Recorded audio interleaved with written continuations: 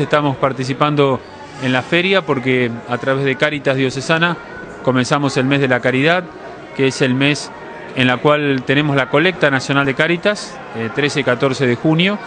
Y bueno, con esta charla que, vamos, que estamos dando sobre la comunicación en la familia, que agradezco mucho que la Feria del Libro permita que pueda yo también tener esta conferencia y poder brindarla, acompañando a la gente, en la idea de, de animar que realmente nos comuniquemos más, que entendamos que la familia es un espacio de comunicación muy rico, muy interesante, donde nacemos y crecemos en diversidad de, géneros, de sexo, de, bueno, de familia, de edades, de pensamientos, y sin embargo el vínculo familiar es aquel que nos une y que nos mantiene con, con mucha alegría. ¿no? Entonces, bueno, de eso queremos hablar hoy en la conferencia y ayudar a que todos podamos vivir así. Obispo, bueno, recordémosle a la comunidad cuál es uno de los principales objetivos que tiene eh, Cáritas en la comunidad.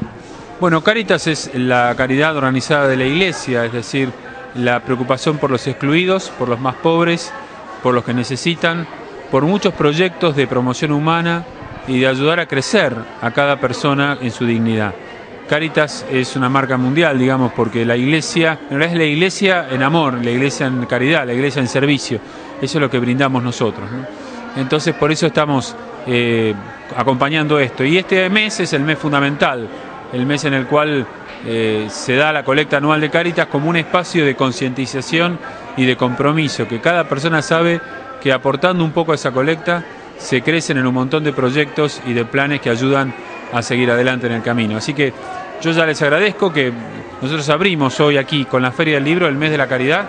Van a ver este, muchas alcancías de Caritas todo este mes a través de muchas manos. La semana que viene estamos en el izamiento.